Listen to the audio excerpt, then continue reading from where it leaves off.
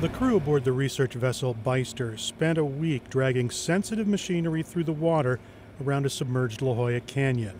They're hoping to understand the complex processes that feed the rich ecosystem under the surface. Engineer Sarah Goheen says the team uses a winch system to raise and lower a CTD device, which measures conductivity, temperature, and depth. The team is tracking dye released near the canyon several days before. So we're just yo-yoing nonstop with that, driving transects of the canyon back and forth to see if we can see the dye that we released on Tuesday, um, which is letting us measure basically how the seafloor here is shaping what the water does when it's hitting there and how energy is dissipating or how energy is building up more and basically just what the canyon does to the area. The four foot long tube resembles a model rocket. It can be raised and lowered quickly through the different ocean layers, giving researchers a snapshot of the water column from the surface to the ocean floor. Uh, this is the, the crash guard, and so this is actually going to be removed when we are deploying it. So this is just, just for, for on deck because they are crazy delicate and you can break them by looking at them. There's another tool that does roughly the same thing but much slower. Instead of pulling and dropping the device as quickly as possible, it is designed to take its time. Falls at half a meter a second. It's got these umbrella wings that actually open up in the water column so that it has a nice steady descent rate and it free falls.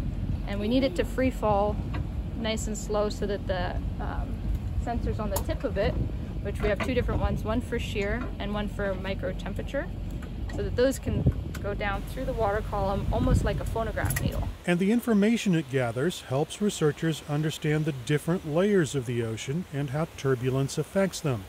The warmer water near the surface is separated from deeper, colder water by the thermocline.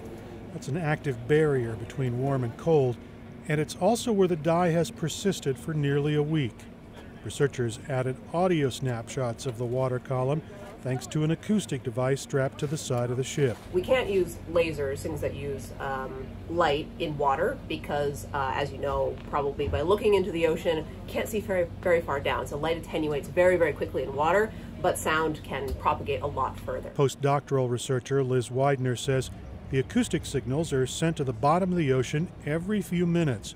The return echo helps fill in the gaps that the larger instruments miss. We can also track the position of the thermocline, so we can track it with very high resolution. We're probably having, you know, one acoustic profile every maybe one to five meters, which is much higher resolution than where, you know, the CTD that we're dropping and bringing back up, you know, that's maybe every 100 meters. And for a solid week, the vessel spent every day with instruments in the water tracking the dye in the constantly moving ocean.